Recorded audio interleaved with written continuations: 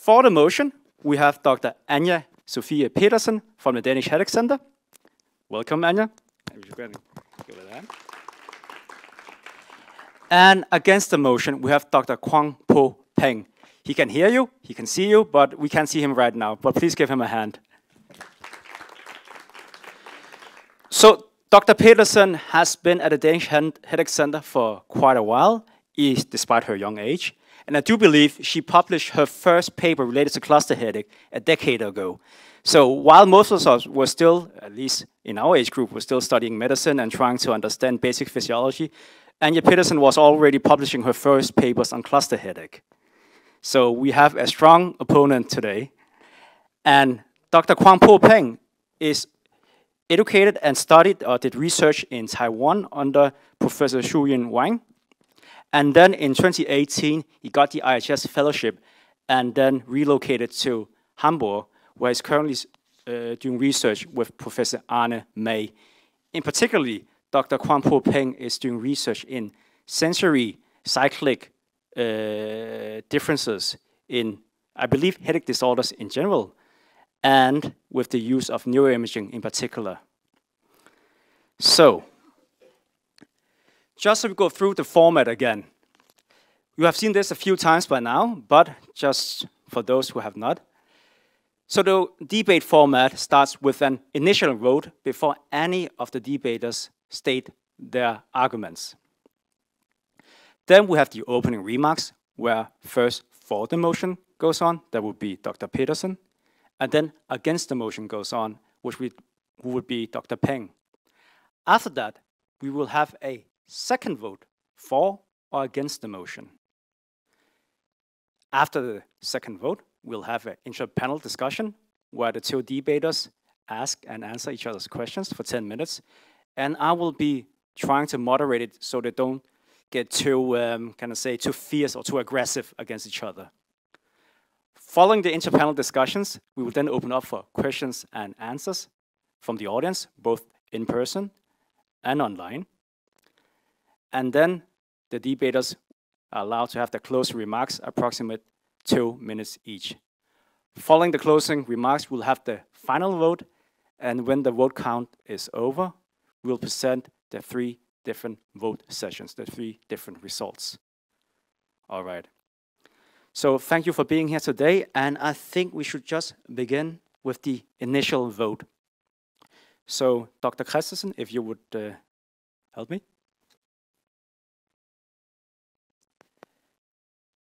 So to access the vote, you have to go to icams2022.com.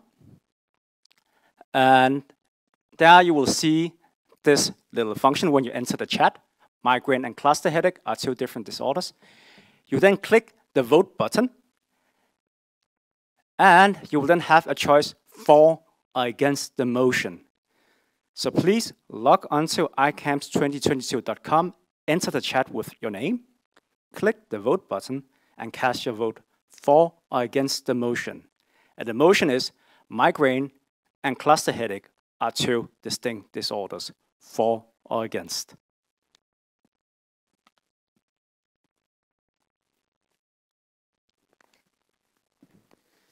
So we will have two, three minutes before we continue. And I think I'll just ask a question to Dr. Petersen because I know you've been very busy this weekend. I believe you also went to a different conference yesterday, is that true? Yes. So you're already a bit warmed up uh, for presenting. Yes. Yeah. And uh, how was it yesterday? Well, it was uh, it was nice. It was the uh, annual uh, society meeting for neurologists in Denmark. It was very cozy, and we had a great dinner, and there was a a theater group performing, and it was it was really nice. But, but I went to bed early, and I'm fresh today. Great. no hangover. No. But what about the scientific content yesterday? How was that? well, we learned a lot. Uh, I have not been in the general neurology department for many years. I've been specializing in headaches, so I learned uh, a lot about uh, autoimmune encephalitis um, and some about uh, myasthenia gravis as well. So, uh, and I also learned that it's quite hard to diagnose neurology disorders, Aside from headache. aside from headache, yeah. So, Kuan-Po Peng, can you still hear us? I can still hear you. Yeah, great. How was your How has your weekend been? Been uh, working as usual? Uh, somehow like that. And uh, can you still hear me? Yeah, yeah, we can definitely hear you. Okay. Yeah, for the weekend is it was a little bit hard for me because I have to. I thought I had to do the meeting with two kids aside, but uh, fortunately my wife took the kids out, so now I'm alone at home, which is good. Okay, Kuan-Po, how long time do we have before your wife is back? I hope enough time. Okay, we'll see. Otherwise, they can participate in the discussion. Maybe they can even cast a couple of votes in your favor. Uh, hope not. All right, Rune, are we ready? Okay, I think we should begin with the next part of the debate then. So we are continuing into the opening remarks. So Dr. Petersen, if you will take the stage, Yes. and please give Anja a hand.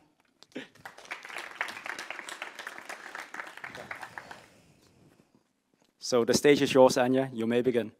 Perfect. So, thank you for inviting me and to talk about this interesting topic.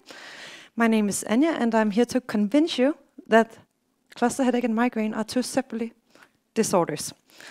So, the central word in this debate is distinct, which means that something can be similar, but it can or should be separate from the other.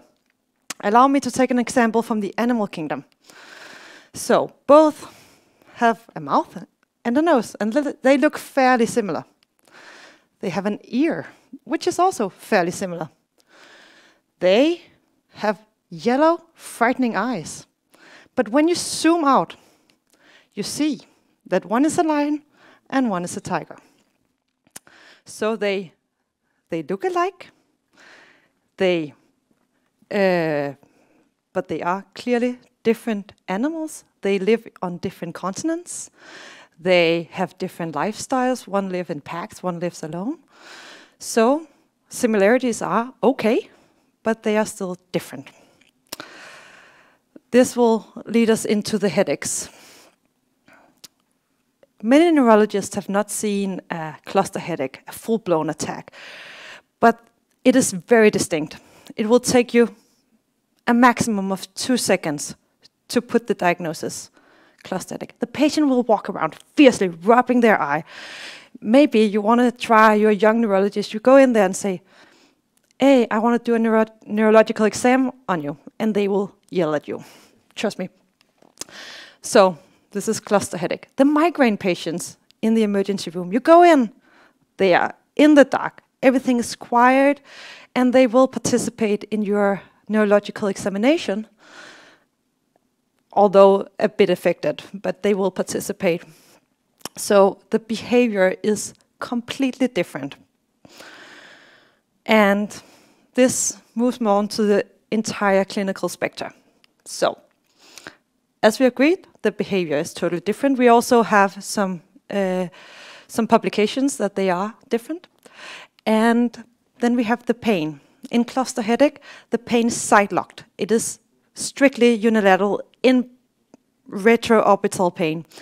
In migraine, the pain is more diffuse. It is often not side locked, and around 40% says that they have a bilateral headache.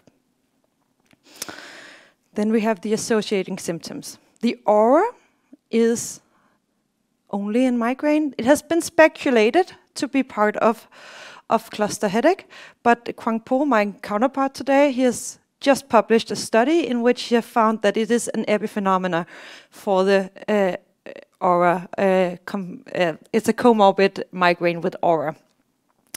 Then we have the autonomic symptoms, which are the hallmark of cluster headache. Well, some migraine patients has autonomic symptoms, but they are less pronounced.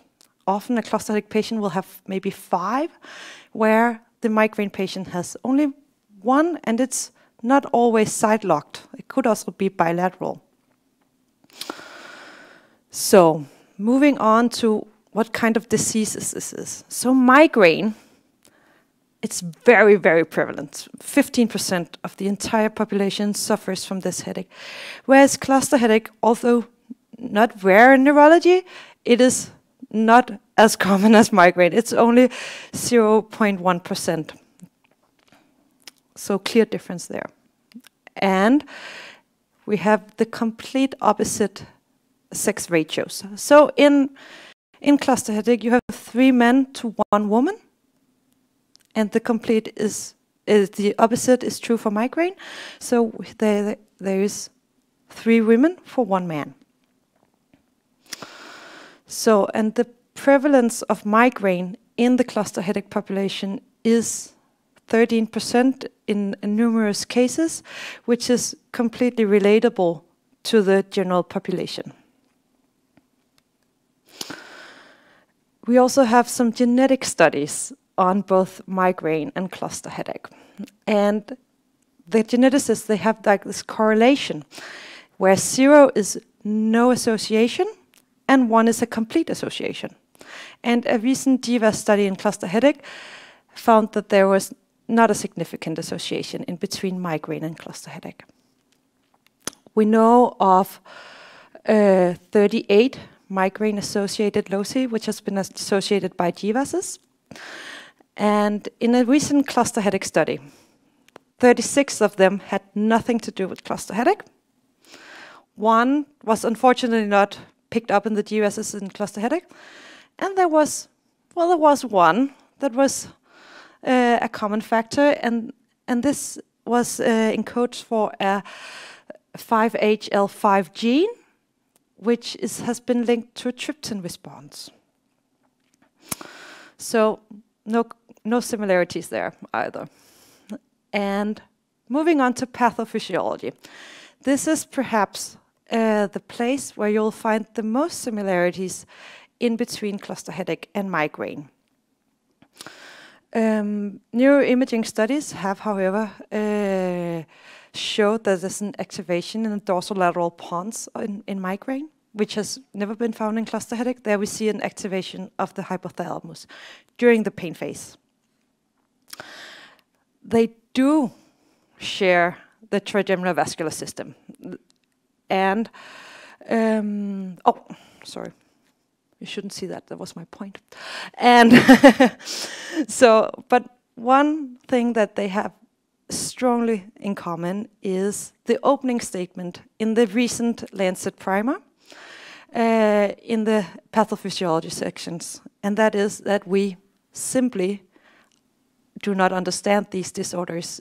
We don't have the complete pictures yet.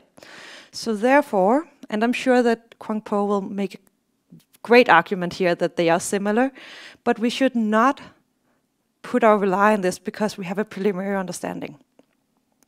So in here we find no argumentations. And moving on to the treatments, we see that oxygen and SPG neurostimulation, they both inhibit the parasympathetic branch of the trigeminal vascular reflex. This will treat a cluster headache attack, but it will not treat a migraine attack we have this the, the new era of the monoclonal antibodies, and they have been robustly effective in migraine trials. In cluster headache trials, we have always also tried these, but only one in four has been uh, positive, and that was with a p-value of 0.04, so just barely positive. And uh, verapamil not really used in migraine. There's been some trials, but it has been, well, it's not mentioned in any guidelines, and the trials are very old and very underpowered. The triptans, however, is a similarity in between cluster headache and migraine. They are both effective in treating an attack. So, we come to the conclusion are migraine and cluster headache two separate disorders? Well, as a clinician, I can tell you, I used many, many, many hours interviewing both migraine patients and cluster headache patients. They do look different. They recapitalize differently. And yes, there is a similarity, the headaches. But generally speaking, one is man, one is female. They come from different planets, that being Mars and Venus, so they are completely separate. So, and uh, I'm sure that Kuan-Po will, will counteract this in a moment, but this has been my argumentation. Thank you.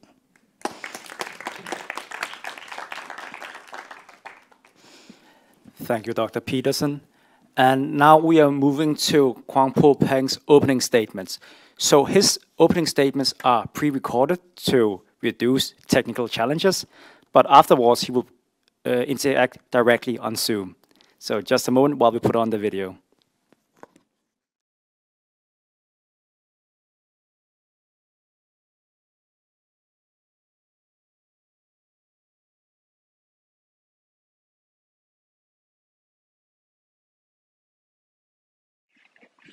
Good afternoon. My name is Po Peng from the University Medical Center Hamburg-Eppendorf. Today, I'm going to join my colleague Dr. Petersen on this debate topic. Migraine and cluster headache are two distinct disorders. My position is against this motion. I'm going to use the next 10 minutes to convince you that migraine and cluster headache are not two distinct disorders. First, we're going to talk about the phenotype of both cluster headache and migraine. At first glance, both seem to be two different disorders. Cluster is featured by the short-lasting attack up to three hours, and migraine, on the other hand, is featured by headache attacks starting from four hours up to three days. And cranial autonomic symptom CAS is the defining feature for cluster headache. However, 50% of the migraine patient, they also have CAS. Are migraine and cluster headache really that's mutually exclusive? Some patients, they have the intermediate phenotype. For example, on the left-hand side, we have some cluster headache patients that have the atypical feature. For example, they have the attack duration more than three hours, and they also have typical visual aura. And on the other hand, we have some migraine patients with a typical CAS. They are more likely to have unilateral headaches. And in the middle, we also have some patients who fulfill the diagnosis criteria for probable migraine and so probable cluster headache. So the clinical phenotype of both disorder, except for the attack duration, is actually overlapped. For example, unilateral pain, severe intensity, allodynia, photophonophobia, interictal sensitivity, and also CAS. So that is my first argument. The phenotype is not really that different between both disorders. And when we look into the data of pharmacological provocation studies, these studies come primarily from our Danish colleagues, and these studies provide invaluable information on the mechanism of migraine attacks. Various trigger has different provocation rate and suggests a different role in the signaling cascade in the vascular system. And what we learned from this study is that these trigger not only trigger headaches, but they trigger migraine-like headaches the mechanism is rather specific. But nearly all of these triggers, they can be used to trigger cluster headache attacks. Of course, the onset and the duration between migraine and cluster headache still differ, but that suggests the biological mechanism of headache in both migraine and cluster headache is to a certain degree overlapped. And this is my second argument. And here is a really nice illustration on the migraine pharmacological triggers. Nearly all of the upstream compound has been shown to trigger cluster headache as well. For example, CGRP, PACAP, nitroglycerin. And downstream in this cascade, I believe almost everyone knows this important study on KATP and also BKCA. Both of them, they are really strong trigger for migraine attacks. And I'm looking forward to see the results of levcromakalim and also MaxiPost in patients with cluster headaches. I believe they will provide better understanding of the mechanism of cluster headache attacks. And when we look into migraine and cluster headaches, both disorders, they are not only headache disorders. Both are featured by a preictal phase before the headache starts. On the right hand side, we have this famous illustration from Blau before the headache starts, patient has already developed a craving, yawning, highlight, heightened perception or free rotation certain premonitory symptoms. And on the left-hand side, in recently published study from our Danish colleagues, we also seen that patients with cluster headache, they also have parasympathetic activation, neck pain, photophonophobia, concentration difficulty before the headache starts. The main difference from the left-hand side and the right-hand side is only the time frame. The symptom is somehow similar. So the presence of the premonitory symptoms suggests that there is a generator in the brain, and the generator has already started even before the headache appears. And this is my third argument. If something has already started before the headache attacks, the next question is where is the generator? On the left-hand side, we have the functional MRI study. Migraine patient, they have a stronger activation of the posterior hypothalamus during the attack compared to the interictal phase. And the right upper corner, we have the early PET study. And this study, cluster headache patient, they also have the posterior hypothalamus activation during the attack. And this has been replicated in a later functional MRI study. So when this patient with migraine are examined longitudinally, the activation of posterior hypothalamus can be as early as two days before the attack.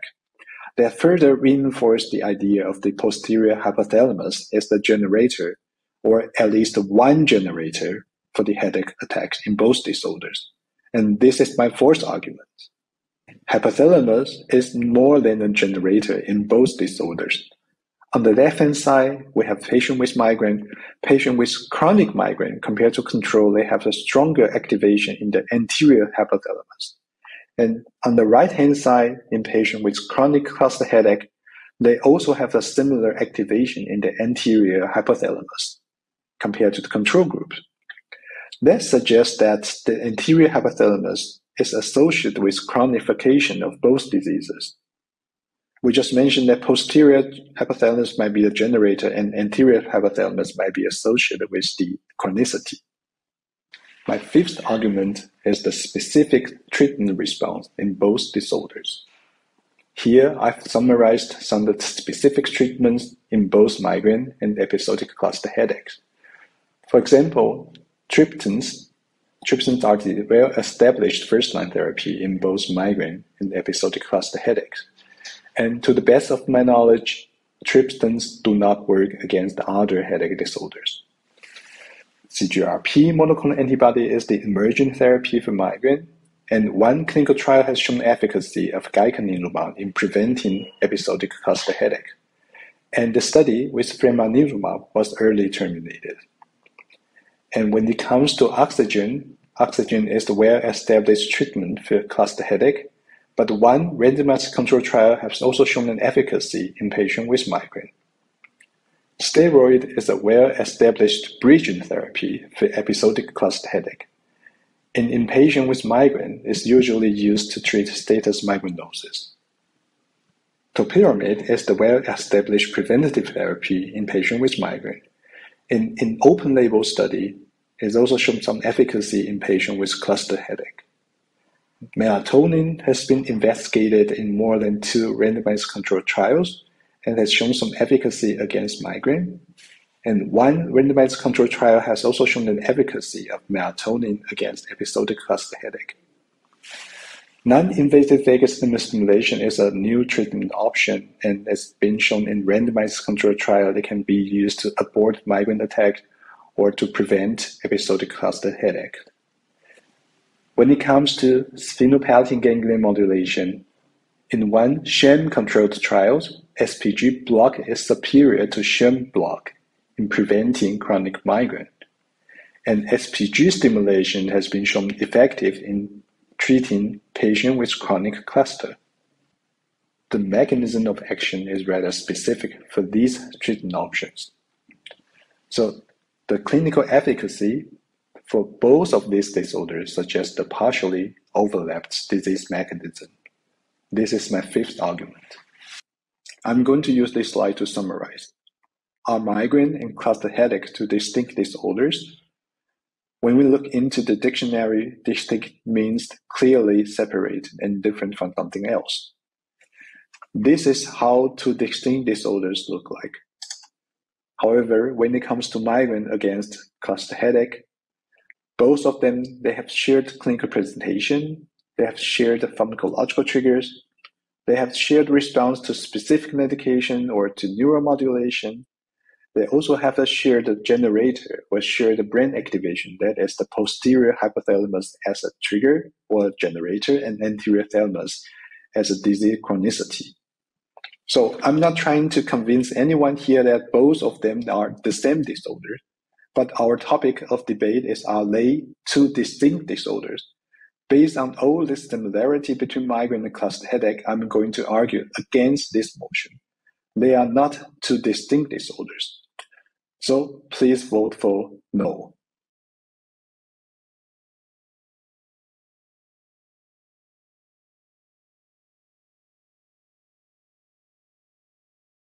Thank you to Dr. Peng. Let's give him a hand. Okay, so we are now moving into the second vote. And Rune, if you may. And Kuan-Po, are you still with us? Yeah, I'm still with you. Great. So in just a brief moment, we will enter the intra-panel discussion where you and Anja will uh, engage in a debate as moderated by me. And so let's just finish the vote. So the vote is now open on icams2022.com. If you go on the website and click vote, you will get the option to choose for or against the motion. And the motion, just to repeat, migraine and cluster headache are two distinct disorders. Yes or no? While we are casting a vote, I think I asked the moderator should ask both of you a question or actually add some data to your discussion. So, Kuan-Po, you touched on the provocation and said that that's an argument for uh, migraine and cluster headache not being two distinct disorders. But I think you might forget that we also have done this in post-traumatic headache, that CGRP can induce or provoke the same symptoms as the patients usually report in post-traumatic headache. And CGRP antibodies have also been tested in patients with post-traumatic headache. So now the question is for both of you. Anja, how would you use this data as an argument for the motion? And Kuan-Po, how will you use this data as a argument against the motion? I'll give you two minutes to think about it while we're waiting for the vote to end.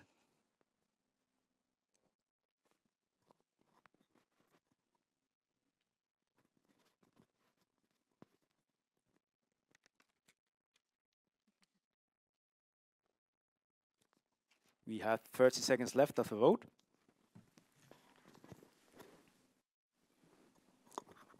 And I see Dr. Petersen uh, is writing down notes, Kuan-Po. Maybe you should be a bit worried. I'm typing my notes. Ah, a modern man. Okay, the vote is over, and we are now moving on to the interpanel discussion. So Anja, I saw you scribbling down a few things. I'm unable to read your handwriting, so if you could share it with your audience. Yeah. I'm a, I'm a true MD in that manner. Um, yeah, so this argument clearly speaks that uh, that the CGRP is not specific to headaches uh, that have a correlation to the trigeminal vascular system, and um, therefore it is unspecific and that does not correlate with the argumentation that that uh, CGRP is an important link in between cluster headache and migraine because that would also link cluster headache and migraine to post-traumatic headache. So Kuan-Po, what are your thoughts on this? I think my answer would be maybe post-traumatic headache disorder also belong to this thing because clearly CGRP does not work against tension type headache and some other headache. As far as I know, that CGRP only works in post-traumatic, cluster headache, and migraine. So why not just add post-traumatic headache into this family? Okay, so you would argue that all three of them share the same mechanisms. At least all three of them they share similar characteristics. For example, like post-traumatic headache, many of the patients they also have typical migraine features. That is correct. Is an excellent point. So I think I, as the moderator, should also let the debaters ask each other questions now. Yes. And Anja, do you have a question uh, for Dr. Peng? yeah. Are we are we sitting down? We are sitting down. We are sitting down, We okay. are having a nice dinner conversation. Perfect. So um, my first question is that you you nicely showed all these neuroimaging studies, and I know that you are the expert group on this neuroimaging, but there are two studies out there that have not found any replication of the hypothalamic activation uh, in migraine. Do you have any explanation for this? Um, you're definitely right. There's been always some inconsistency among studies based on the methodology, including exclusion criteria. And for example, uh, in the recent review, out of 16 functional imaging studies, 10 studies were positive for hypothalamus and 6 studies were negative for hypothalamus. And to make it even more complicated, the status of the cluster headache may also influence the functional imaging outcome. For example, episodic versus chronic and in-bout versus in remission. But overall, I would argue that positive studies still outweigh negative studies, especially when we talk about functional imaging studies, not structure studies. So there is still some debate that activation of posterior hypothalamus in early study is actually the ventral tegmentum in the brain. But I believe this has been solved in the latest three Tesla MRI study with a spatial resolution of 1 to 2 millimeter. So in summary, I would argue that we still have some inconsistency, but positive studies still outweigh negative studies. Thank you for your answer, Dr. Peng. Anja, do you have any comments on his answer?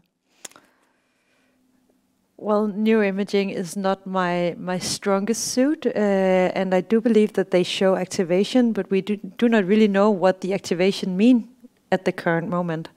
So we do not know if it's a, a generator, if it's a terminator, or what this activation initially means for a physiological standpoint yet. Excellent perspective. So, Kuan-Po, do you have a question for Dr. Petersen? Yeah, uh, you just saw that the genetic correlation between migraine and cluster headaches only meaningful when both of them they are strong genetic disorders. For example, from data from GWAS studies consistently found statistically significant loci, but with a really low clinical impact. I mean, like odds ratio from 0.9 or 1.1. So I will argue that environmental factor or epigenetic factor are more important.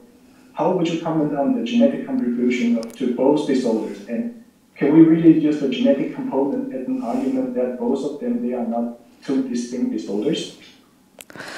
Well, um, I believe that um, it has just been this year where we have published the, the large GWASs on cluster headache, and we have not yet seen uh, the data from the entire consortium.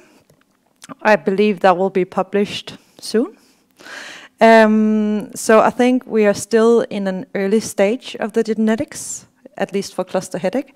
I do believe the result we see in cluster headache is quite robustly. The odds ratios are very high compared to uh, it is uh, big data. It is uh, a genetics data. It's not a, a, a simple clinical study. And um, in in migraine, a lot of the um, of the there's tons and tons of of GWASs. There's tons of uh, um, of samples, but many of the samples have been uh, collected uh, by swaps, and they are self-reported migraine. So I believe we have a lot of noise to be cleaned up in the migraine.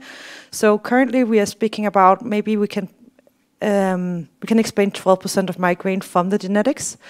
I believe this is actually higher it, when we clean up all these uh, all this noise that we see. Thank you, Anja. I know for sure that we have a couple of experts in genetics in the audience, so maybe they will add their uh, comments later on when it's their turn. So I have a comment for both, or more like a question for both of you.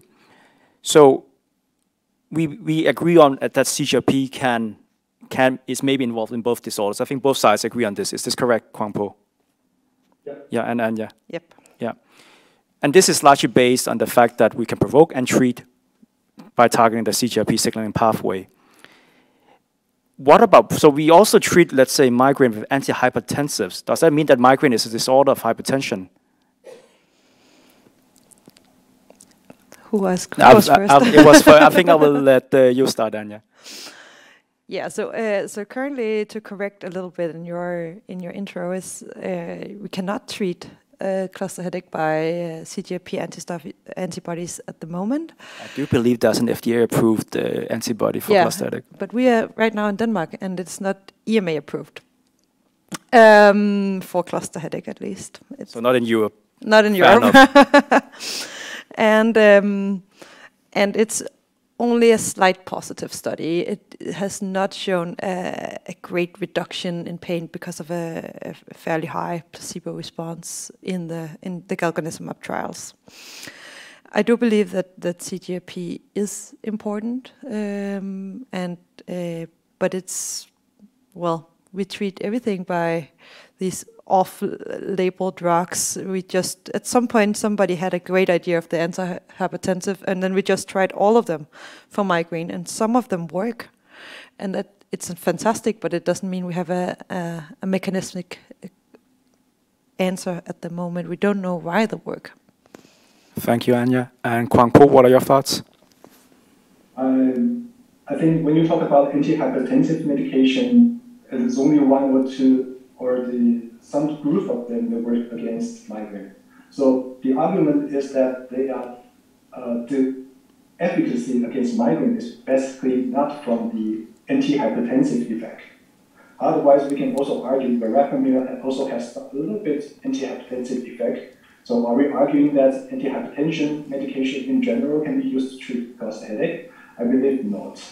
So the problem is just I agree with Anja that the main how this medication works we don't really know about it compared to anti-CGRP therapy. We know exactly the mechanism of anti-CGRP therapy, but why propranolol or candesartan works against migraine, I believe uh, until now we don't really know about it. Yeah.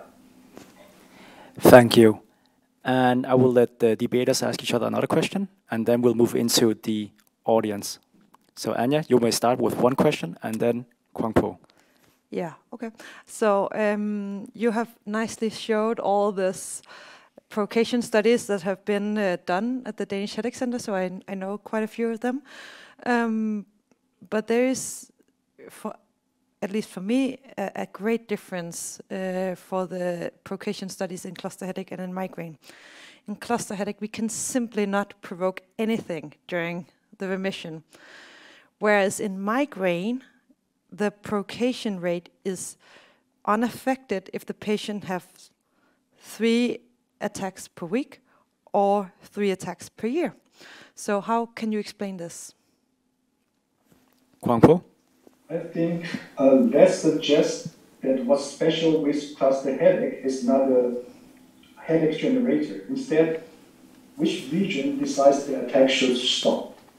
We know that even without intervention, the attack stopped within three hours.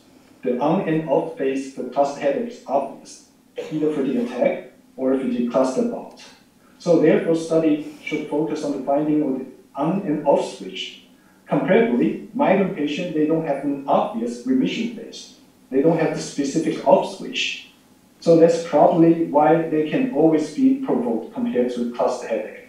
But in an early Danish study from Christiansen et al., I think it's 2000, he also showed a trend toward a higher induction rate in high frequency migraines.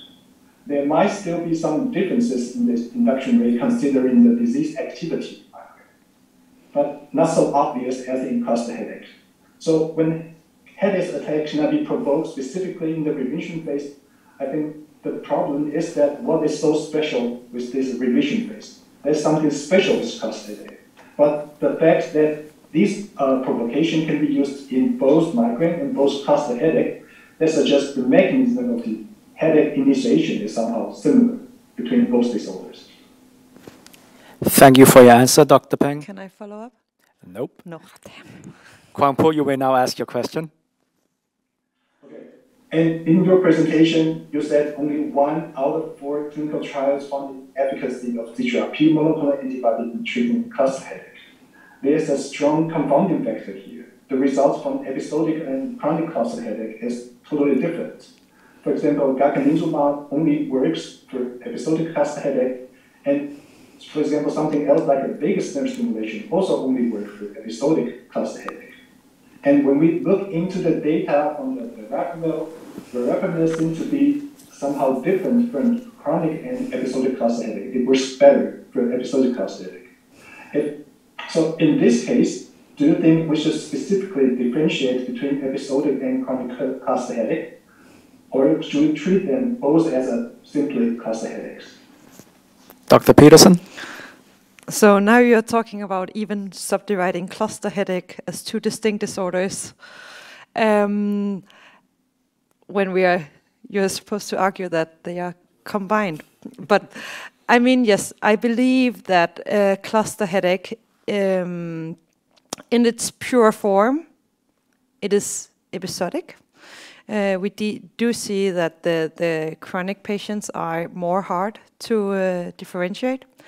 And going forward in the research, I believe that we should subdivide, and I strongly believe that we should subdivide migraine and cluster headache into two groups, otherwise we cannot learn anything. And we should also subdivide the the episodic and the chronic cluster headache patients because the chronic patients they are they are a bit different. They have uh, uh suppose uh, I suspect that they have some central uh, sensibilization and uh, they are harder to treat. Thank you for your answer. And with that, we will now open up for questions from the audience, both in person and online. And I can see a queue is slowly forming up. uh, can you see this, Kuan-Po? What's happening? Okay. Uh, yeah, yeah, we will start with the first. It, uh, thank you for your excellent presentation. Uh, I have a question for you. Uh, you mentioned triggers, and uh, you mentioned that uh, CGRP provokes uh, uh, mi migraine attacks and CGRP provokes cluster headache attacks. It's correct.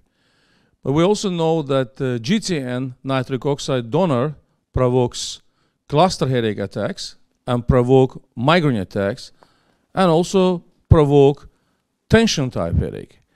And uh, apparently, uh, having uh, the same mediators, shared same mediators, doesn't mean that you express the disease in the same way. Apparently, they expressed in a different way, phenotypically. how, how can you say it is uh, uh, the same if they expressed in a different way? Cluster patients report cluster attacks, tension type headache patients report tension type headache, and migraine patients report migraine attacks, particularly with the GTN. Thank you, Professor Ashina. Dr. Peng, you may begin. It's a really good question. I asked myself so many times about it. I think uh, my answer would be maybe the trigger for headache attacks among this disorder is somehow similar, but each headache disorder, they have a unique disease modulator.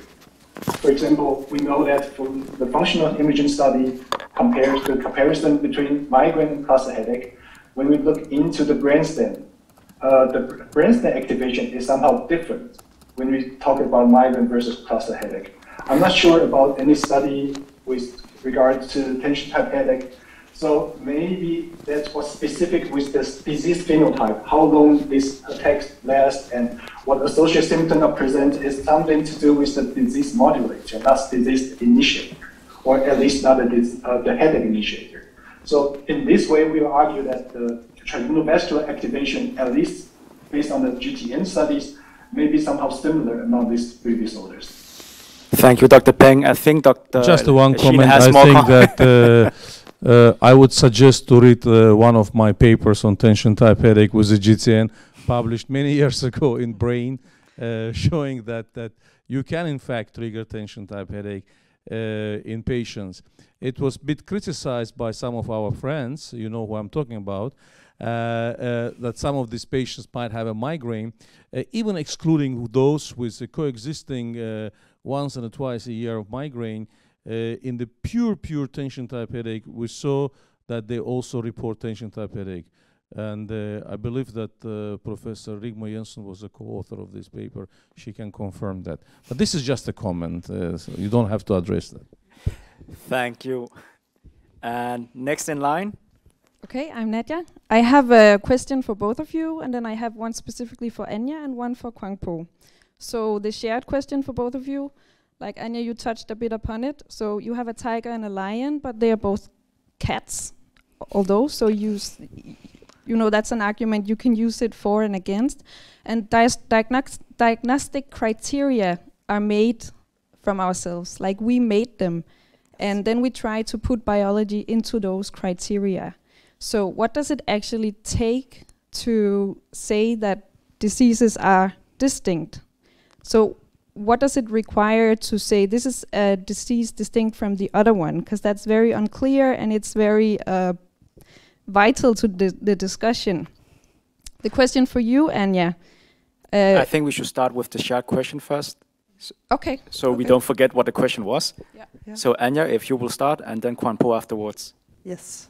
Yeah, well, all is a matter of perspective in this word. And, uh, and biology, and you also saw Kuan-Po uh, showing these uh, outliers that doesn't fit in the criteria as an argumentation that they are not the same, or they, they are the same. But, but we are talking about biology, and we have to say that the majority of the patient actually fits into the criteria.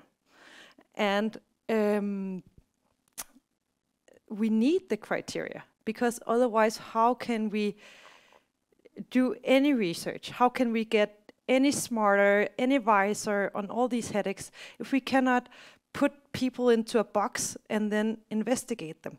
It might be in a hundred years that we say they do have the same pathway, they are a, a spectrum, but at the current moment, at the current knowledge, they are not because we don't have that knowledge. And to gain that knowledge, we have to investigate them as two separate disorders and put them maybe through the same trials, but in different. They have to be grouped with with each other. Like they have, we have to investigate cluster headache, and then we can compare the results to migraineurs. That be Thank you, Anja. answer. Kwang Po, what is your take? And I think the criteria are really important. I'm not against the criteria, but the current criteria was not based on biological markers. So maybe in the future, as stage G4 or as stage G5, we have better biomarker for headache disorder. Maybe in the future, in 10 years, 20 years, uh, we have the CGRP-related headaches or PACAP-related headache instead of only migraine versus cluster headache. So maybe in the future, we can use the one criteria to fit both of them. CGRP headache with a shorter duration, CGRP headache with a longer duration, or something else. I'm not sure. Thank you to both of you. I will just take a quick question from the online audience from Ayudini Asuni. Are there any differences in circulating immune marker in both disorders? So I think this is a question for both of you. Um, well, I I just uh, yesterday was uh, reading an, an old paper by um, by You always read, Anja. yeah yeah yeah by uh, Dr. Goadsby and was hidden in a paper uh, on SUNCT. And there we actually see that they compare the levels of, uh, example, CGRP uh, between uh, cluster headache and migraine, and CGRP is twice the level compared uh, in cluster compared to migraine. Kuan-Po? I'm not familiar with any specific immunomarkers for cluster headache, but I, as I recall, the immunomarker for migraine, there's some studies about it, but there's no replication study. So I'm not sure the, their roles. But when we talk about these peptide, there's something else. Thank you. And then we'll take questions from the in-person audience again. Continue. May I? Yeah, you may. Okay, so Kuan-Po, do you suggest that we future migraine studies will include cluster headache patients, and if not, shouldn't we segregate even further? And that goes to my question to Anja: Isn't cluster headache just a subphenotype of migraine that affects women more than men? And I think that put both questions into one? Uh, I think any clinical trials is strongly based on the ICSD criteria. In that way, we can have a common language between different study groups and different study sites. So based on the current ICSD criteria, I would say we should not mix cluster headache and migraine patient together. But just like I already said, maybe in the future we have better biomarkers. It might be a good idea to separate them based on the biomarker. In that way, maybe they can be uh, categorized under the same umbrella diagnosis. Thank you. Anja? Well, I, I do not believe that cluster headache is a, a subform of migraine. As, as I said before, they, they look completely different uh, during the attacks. Um, and and migraineurs are they have very there's a lot of variance in when you talk to the patients. In cluster headache, they are very stereotypical, and I believe they are their own, their own group. Thank you. And we have an expert in genetics coming up on the stage, Mona. I'm not sure if I'm going to comment right now on the genetics. I'll leave it to the meta-analysis soon. But hello, good to also see not just our backs. My comment, and I was um, wondering if you could comment more about this heterogeneity of both disorders, right? Is it really difficult to to to try to compare two very heterogeneous disorders, or should we maybe look into the more subgroups? So my ideas were for the endophenotype, possible endophenotype, migraine with autonomic symptoms maybe to be a bit diplomatic for both of you, could those could that actually be a subgroup where they are sharing some components? Anja, what are your thoughts on this? Well, I believe that um, that the autonomic symptoms in migraine have have been discussed, and there's a recent publication in which they have found 70% of all migraineurs to have autonomic symptoms. I myself have not found that many in the in the clinic, but um, I believe they should be a subtype of migraine. They should not be a part of, of the cluster headache uh, simply because they have an autonomic symptom, because it is less pronounced and they still don't uh, behave like the cluster headache patient. Um, and maybe, I know your cohort is, is very, very strictly uh, diagnosed, but maybe there might still be some misdiagnosis in there, so that some of the migraineurs are um, misdiagnosed as cluster headache. Um, we saw in a in a publication from Lund in 2017 that most of our female cluster headache patients are misdiagnosed uh, with migraine before they receive their actual cluster headache diagnosis. Thank you. And Kuan-Po, what is your take? Uh, I also suggest that maybe in the future we should separate migraine patients into different subgroups, but the subgroup differentiation must be based on strong biological markers. I remember reading one article, something about a genetic variant associated with treatment response. So maybe we, we need to use the biological marker like CGRP, something else, or even imaging markers to have a better classification of migraine patient into the different subgroups, not only use the phenotype, because phenotype is not really reliable sometimes. And Mona, you have a comment? Just a little comment on this. Uh, very preliminary, we do see results that, especially migraine with autonomic symptoms, that um, this is kind of a link genetically between migraine and cluster headache. But um, I think this is something that could be nice to study in the future, and hopefully both of you could be on board. Thank you. And I think Professor Ashina also have a statement. I have a question. A question? So the question is about the uh, head pain uh, during the migraine and during the cluster headache, and to both of you. Uh, if you just speculate and uh, tell me where is the site of nociception in cluster headache versus migraine? Where does it hurt when I have a patient with a cluster headache and with a migraine headache? This is a very good question, and I will let Anja start off. Well, the cluster headache patient, they hurt in the eye, where the migraine patients, they hurt all around. Uh, it's more diffuse. But are you talking about which nerve we are talking? Yes. Pathophysiology, yeah. So I believe that um, that that cluster headache is way more centrally driven. So they are um, a part of the start, as you also showed the agne- uh, the, the the snore study. They feel restless before the attacks are coming on. So the, the debut of the attack is centrally.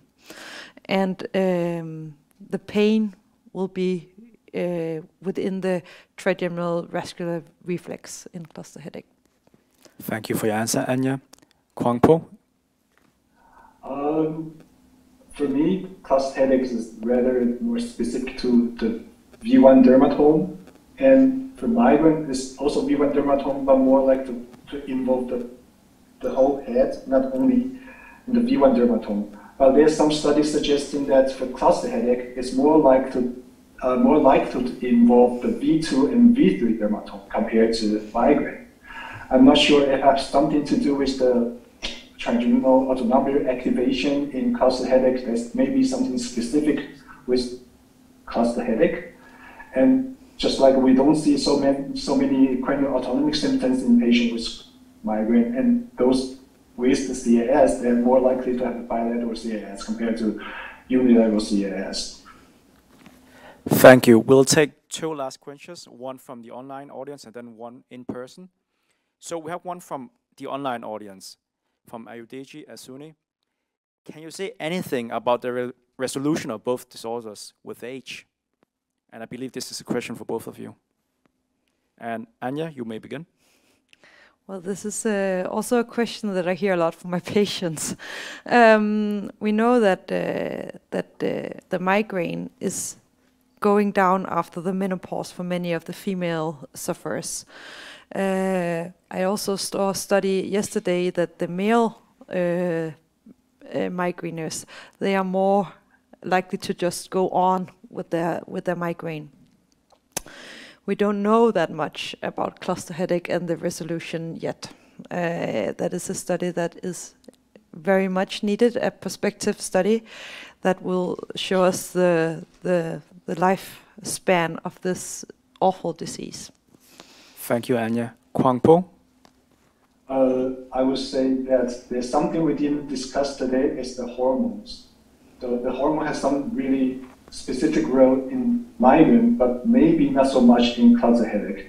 As we know that before the puberty, patient with the male and female patient, they have similar incidence of migraine. But after puberty, it's much higher in women, but not in men. But after menopause, the incidence or prevalence of migraine is also um, significantly dropped after menopause. So I think that's something we didn't observe in patients with cluster headache. So I would assume the role of the hormone plays a specific role, specifically in migraine, but not in cluster headache. Thank you for your answer. And we have time for one last question from Professor Jensen. Yeah. Thank you so much. Excellent uh, discussion and debate. Uh, I'm just still puzzling, puzzled about the gender uh, sex differences because if if it's so pronounced in cluster headache, it's so pronounced that female are predominant in, in migraine. Uh, so could it be that that the estrogens, the female uh, sex hormones, are protective for for cluster headache, and the other way around? So is there something there? We see, see shift with uh, if you change gender uh, from men to women and the other way around. So is there a relation between the sex hormones and the, the different headache types? Kuan-Po, I think she was primarily directing this at you because she was looking at the screen while she was asking the question.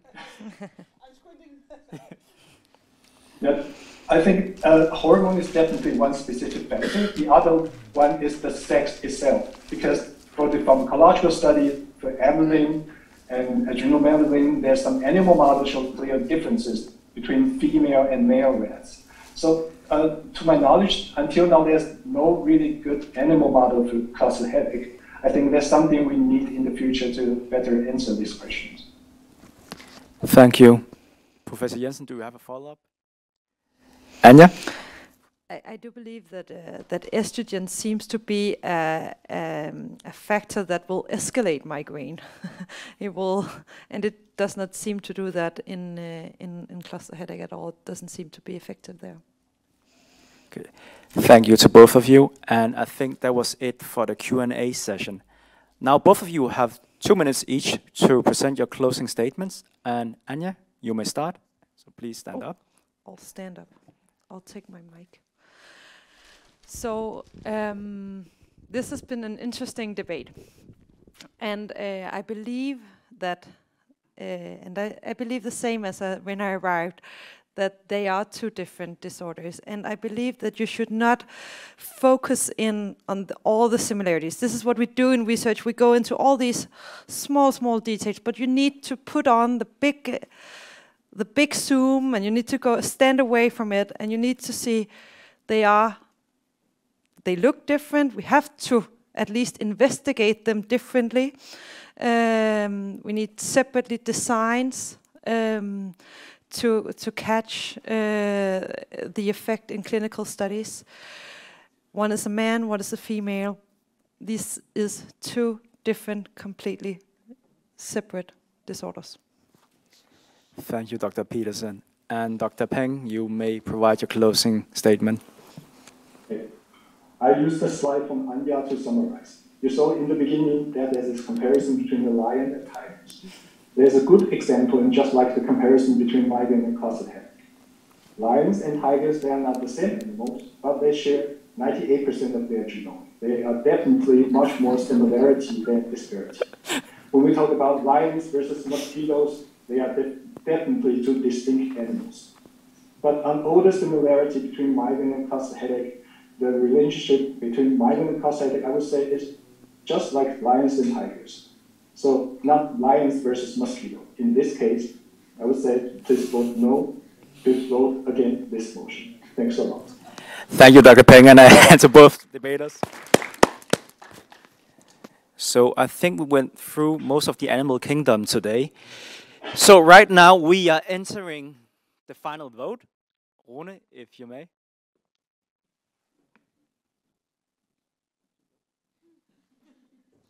So just as before, I would like you all to go on icams2022.com and log into the chat where you are able to cast your vote. If you click the vote button, you will have the option to cast a vote for or against the motion. And again, the motion is migraine and cluster headache are two distinct disorders, for or against. While we're waiting for the last uh, round of votes, so Kuan-Po, did your wife come back with your children yet? Uh, not yet. Not yet, not yet. So you can't get those extra votes from your family. What about you, Anja? Is your family watching this? No. will be the short. No, um, no. My daughter has a five-year-old b- birthday tomorrow, so my uh, she's with uh, her grandparents, and my husband is cleaning.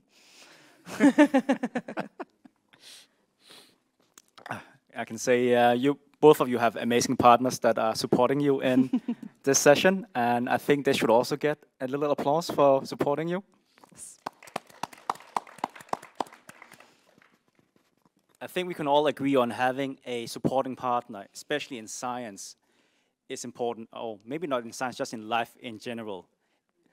So, Rune, how is the vote? Are we getting ready? So it appears that the vote has ended, and now we come just in one minute, we'll have the results on the screen. So, Anja, how was the debate? Did you enjoy it? Yes, very much. Very interesting. Always happy to discuss cluster headache. And what about you, Kuan-Po? Did you enjoy the format? It's really, it's really interesting. Thanks a lot. It's my pleasure to be here. And we are just glad that you could participate. Unfortunately, so the plan was originally to have Kuan-Po in person here, but due to travel restrictions, we unfortunately had to convert it into a online meeting.